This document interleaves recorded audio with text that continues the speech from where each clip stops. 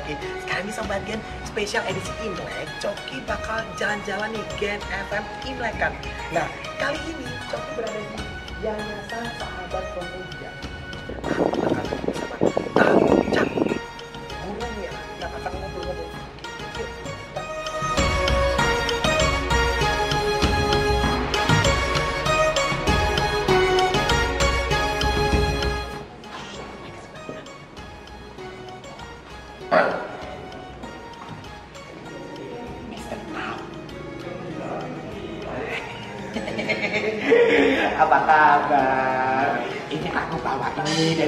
Geni, dari Gen FM.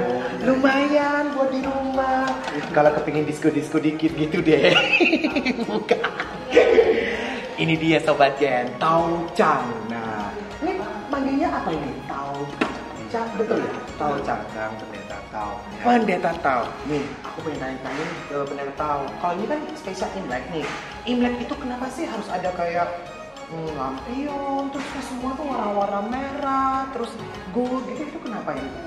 Ini itu ada sejarahnya ya. Jadi dahulu kala di masa dinasti Xin Jin ya ataupun dinasti Jin kuno itu ada satu dipercaya ada satu hewan yang bernama apa Nien. Ya. Nien. Nien. Ini tuh kayak gimana bentukannya? Wah, itu. Naga. Oh bukan. Oh, bukan. Campuran semua. Jadi Oh. monster memang Monster. mengerikan ya. Oh. Suka makan daging anak-anak. Buto ijo. Wah, bukan yang lain ya?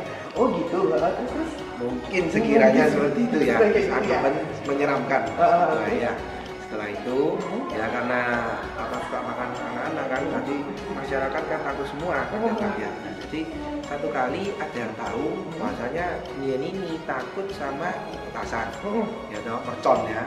Terus sama benda-benda yang warnanya merah. Oh oke. Nah, terus setelah itu keramaian. Mhm. Jadi waktu tahun yang waktu itu Mhm. mereka sudah paham, sudah mengerti tentang uh, ketakutan dari ini. uh, makhluk buas ini. Heeh. Jadi mereka semua pintu-pintu rumah dicat merah, Oh. ditempeli tulisan-tulisan yang membawa makna kebaikan. Oh oke. Setelah itu juga uh, tulisan-tulisan itu tulis warna hitam kan, Mhm. tapi kertasnya warna merah. Warna merah. Nah, Oh. lampion Warna merah. Terus semuanya pakai baju merah, semuanya keluar main petasan, main apa, Mhm. barongsai apa semua dikeluarkan. Jadi takut. Jadi kalau dari situ buat ketakutan mengusir si Nien ini. Nah, Betul. kalau Imlek ini kan identik dengan makanan Chinese food ya. Ada kue keranjang, terus ada hmm, botoan. Kok ada botok bukan ya? ada kue keranjang, terus ada yang eh, mie. Itu itu emang dari dulu ada kue keranjang tuh wajib ya? Kalau kue keranjang itu sebenarnya di masa dulu peperangan ya kan Mhm. susah ya. Mhm. Jadi itu sudah waktu musim dingin di Tiongkok. Mhm. Jadi makanan karena sudah susah juga susah nyimpennya. Oke. gitu ya. Jadi makanan kalau misalkan waktu musim dingin pun makanan ada beberapa yang memang bisa awet ya tahan lama. Ada yang cepat rusak. Iya, iya. Nah, sedangkan kue keranjang ini bisa lama. Mhm. Jadi ada satu yang namanya uh, Cie Zitui itu, Itu seseorang ya Oh, seseorang. seseorang nah, Oh. seorang yang sangat bijaksana Uh-huh. di dinasti ya kira-kira di dinasti Chunju pada Hmm. masa itu jadi dia menciptakan makanan ini Yang awet.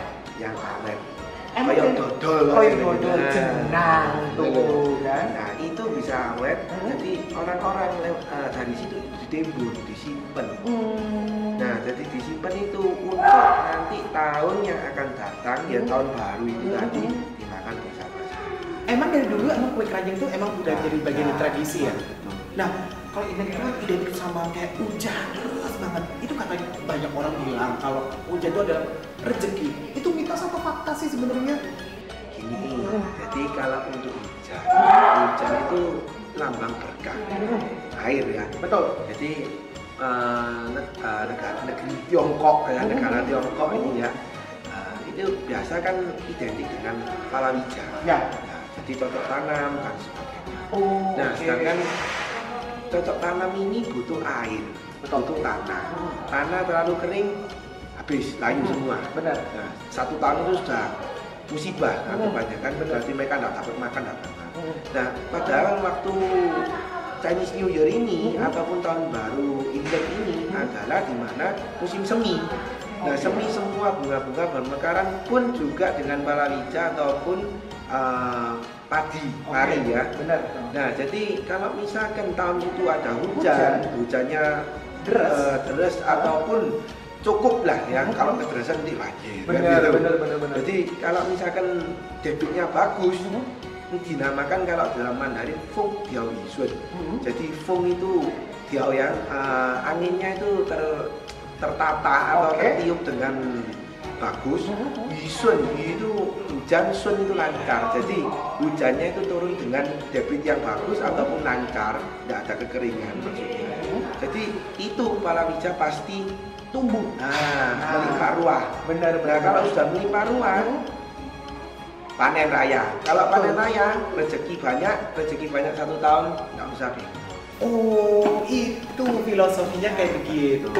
Nah, tahun ini kan eh, tahun ini ada tahun ayam i- api.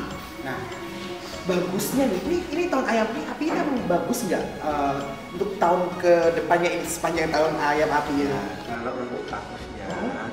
bulan 1 hingga 3 Oh. itu kan dalam anu, eh, di negara Tiongkok kan ini ya semi ya. Oh. Tapi sedangkan kita di sini ya cuma panas sama hujan. Iya benar.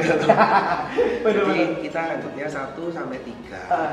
itu agak ada perubahan iklim yang sangat drastis. Drastis banget ya. Jadi Hmm. dari Tiongkok hingga tempat ah, Indonesia Oke. sekitarnya sama. Hmm. Terus juga tiga ke enam ya Hmm. betul ya. Jadi perubahannya pokoknya setiap tiga bulan. Hmm. Hmm. Karena kan 12 bulan dibagi empat, Hmm. ya, tiga tiga tiga. Hmm. Itu agak debit air menaik. Jadi hati-hati banjir. Oke. Bulan 1 sampai 6 ini hati-hati banjir dan sebagainya. Ini air terlalu banyak. Oh, oke. Terus di musim gugur hingga dingin Hmm. atau kira-kira 7 sampai 12 ya berarti ya. Hmm. Itu lebih ke arah hujannya tidak menentu. Oke. Jadi ya kacau lah keadaan cuaca. Jadi tahun ini untuk globalnya cuaca ya? cuaca agak kurang. Kurang bagus. Tahu Cang, ini kan itu kadang kan ini karena percaya nih show-show gitu kan ya. Nah, show apa sih yang bagus di tahun ayam api ini? Nah, ini jadi untuk tahun ini kita biasanya yang paling diutamakan itu empat show. Hmm, apa coba? Karena kan ayam. Ayam, Jadi satu tikus tikus, yang harus perhatian, Hmm. kedua kelinci. itu show aku. Oh iya. Eh, eh, itu kenapa? Jelek atau gimana? Bagus kayaknya. Nanti saya lanjutkan dulu. Eh, ayam kelinci. Ah. Eh sorry, tikus kelinci. Nah, tikus kelinci, Heeh. lantas uh, kuda, Kuda. sama ayam itu sendiri. Ayam. Nah, Hmm. sedangkan untuk uh, tahun ini tikus, Tikus? ya berarti arti Daiin. Daiin ini apa? Adalah bintang salah satu bintang Daisui juga. yakni adalah bintang di mana hubungan ataupun suatu koneksi, connection ya Hmm. di antara manusia atau manusia itu agak meningkat. Tapi untuk lawan jenis. Oh. Jadi harap Musim kawin. Ya kalau musim kawin kan bagus ya. Tapi Iya. kalau misalkan uh, sudah berumah tangga, nah, kan agak hmm, Iya, iya, jadi iya, rawan ya. Oke. Nah, sedangkan kelinci itu adalah suipo, yakni untuk di tahun itu banyak sekali pengeluaran. Matang aku. Nek buyang kok simpanan. di bank doa ini. Banyak pengeluaran ya? Ya lebih banyak pengeluaran. Banyak juga- pemasukan nggak? Nah, ya ini. Kayak ini. Kalau itu sudah kebanyakan pengeluaran yang lebih banyak. Setelah itu untuk eh, ya, Kuda. betul ya. Nah, kuda itu Buddha. Nah, jadi Buddha ini lebih ke arah kebijaksanaan dan berkah. Oh. Walaupun dia bentrok dengan Ayam. ayam tahun ini, Mhm. tapi dia lebih ke arah yang fortune, good fortune namanya. Oh, Ya, oke. bejo, Bejo. panggilan. Nah, kalau ayamnya sendiri nih. Nah, ayamnya sendiri Tai Sui. Heeh. Jadi kebanyakan melakukan segala sesuatunya harap berhati-hati. Oke. Ya, selain itu dalam kesehatan juga berhati-hati tahun ini. Oke. Karena kadang-kadang kita nggak nggak ngapa-ngapain pun eh kena sedikit gini kena angin eh roh Aduh. jadi itu iya betul Iya iya iya iya. Aduh, tahu terima kasih banyak infonya sudah di-sharing ke sobatnya semuanya. Kita jadi tambah tahu nih. Jadi buat sobat ini lagi perayaan untuk Imlek nih pastinya. Selamat merayakan Imlek, selamat berkumpul sama keluarga. Tahu Cang, eh, selamat Imlek ya. Iya. Gongsi pacoy, gongsi pacoy, gongsi gongsi.